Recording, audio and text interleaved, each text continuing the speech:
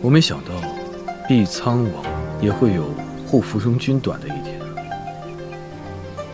他未来是我的家人，我不护他的短，难道护神君的短吗？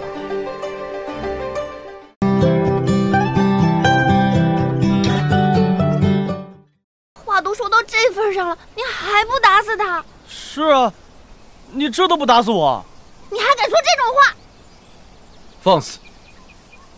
看来天君没怎么教过你规矩啊。是啊，神君，你看他有多过分！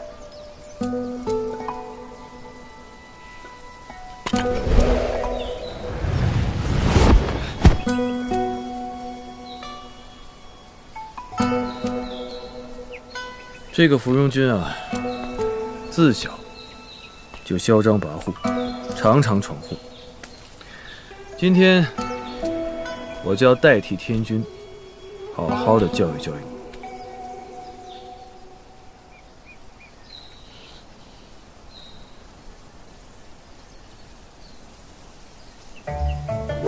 哎，疼疼疼疼疼疼疼，好疼啊！疼疼疼！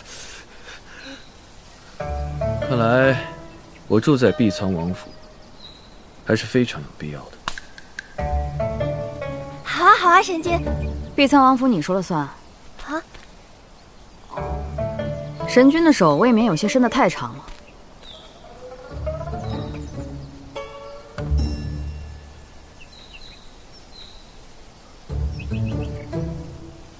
神君，我错了。望神君不要生气，我这就滚。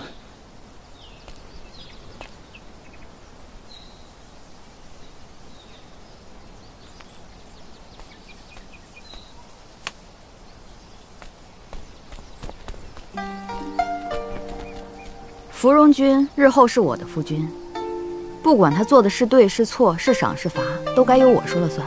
这是我的家事。神君就这么直接罚他，恐怕不妥。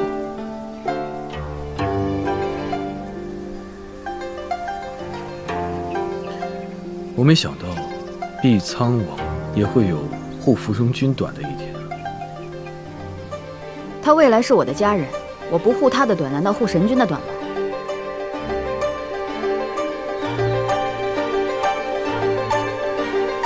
不劳神君操心，他在我这儿犯的错，我自会处理，轮不到你来做主。